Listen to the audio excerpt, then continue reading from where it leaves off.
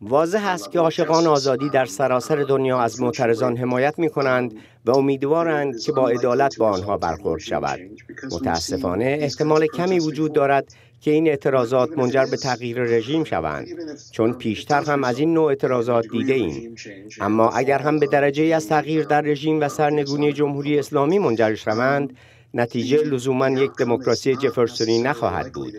نگرانیم این است که نتیجه محتملتر یک دیکتاتوری نظامی خواهد بود زیرا نظامیان برای حفظ مزیت‌های کنونیشان با تمام وجود خواهند جنگید.